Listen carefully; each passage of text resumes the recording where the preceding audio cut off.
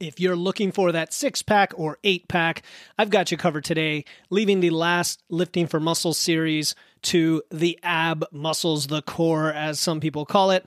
We're talking about the best four exercises for sculpting your abs. And no, sit ups and planks are not on the list. Get ready for today's Quick Wits. Welcome to the Wits and Weights podcast.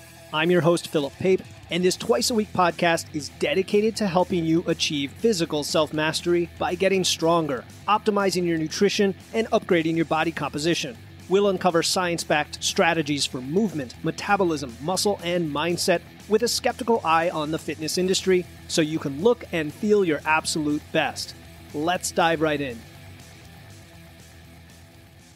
Welcome to the last Quick Wits in the Lifting for Muscle series, where we cut through the fluff and get right to the muscle of the matter. Today, we're zeroing in on the abs, the centerpiece of core strength, and we're going to unpack my top four exercises for building a robust and defined midsection. Before we do, however, Abs are kind of a controversial thing. You've heard the phrase that they are made in the kitchen. And while it is true, for many people, it requires a lower level of body fat to reveal those abs. The more overall strength and size you have, the easier it is to do it at a higher body fat. Also, keep in mind, everybody's anatomy is different, and the way that your abs pop or look is going to be very individual. But having said all that, the most important thing you could be doing for your abs is lifting heavy and doing compound lifts like the deadlift and squat. Assuming you are doing those, here are the four exercises I would love to add in to your routine to help you further develop those ab muscles. Because, like any other muscle group, they need to be worked directly if you want them to respond even more. First, we have decline sit ups. So, when it comes to ab muscles, we need to load them either with uh, gravity based kind of body weight load or with actual load from a machine or some other loaded uh, you know implements.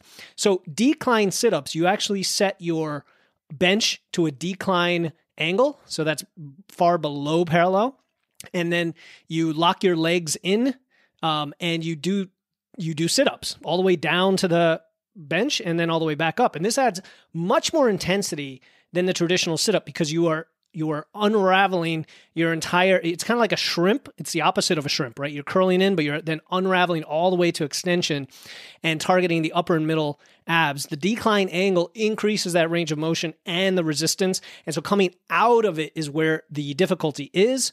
Um, and and again it's not about speed it's really control. You can hold a plate in your arms or you can put your hands behind your head to add difficulty to the movement. So i love decline sit-ups Number two, I call these, I don't know if this is the official name for it, but incline reverse crunches. So take an incline bench and sit on it and at some of, somewhat of an angle, let's say 30, 45, 60 degrees, you know, fill it out. And you're basically holding the bench with your hands and then using your abs to curl up your legs. Your legs can be kind of sticking out or they can be slightly bent, um, but that will target the lower abs. And you really need to get your hips and butt off the bench and really squeeze into that at the top of the movement to maximize that ab engagement. And again, this isn't loaded, but you'll see how hard it is. The one way you can load it is to strap your feet to a cable machine with like an ankle. Um, what do they call them? Those ankle straps, and you can add load that way, but most people don't need that. Number three, hanging leg raises. You can either hang um, with straps, like a pull up hang or a, a, narrow grip hang, or you can use slings. Um, the idea here is keeping your legs straight and then raising them using your ab muscles, not using momentum, not kipping, right? And um, and you're sort of curling your butt and having your butt face outward, if you will.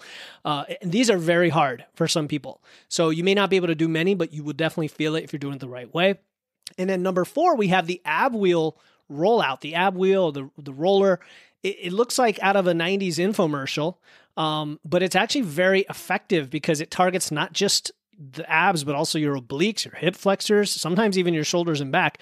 The trick is to to roll out slowly, keep your core engaged, um, but you don't want to be in overextension either. You kind of want a slight curl at the beginning so that you can roll out and then really engage those muscles. Remember, ab ab movements, in addition to being loaded, the purpose of the abs is to round the back. So this is one of the very few cases where you you want a rounded back in certain parts of the range of motion.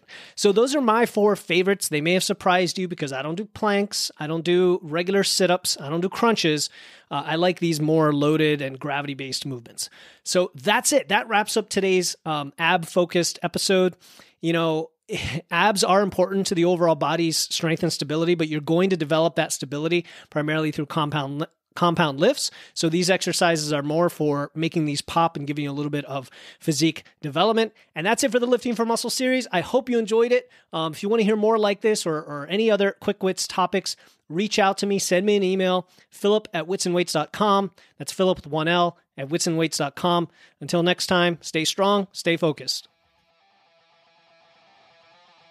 Thank you for tuning in to another episode of Wits and Weights. If you found value in today's episode and know someone else who's looking to level up their wits or weights, please take a moment to share this episode with them. And make sure to hit the follow button in your podcast platform right now to catch the next episode. Until then, stay strong.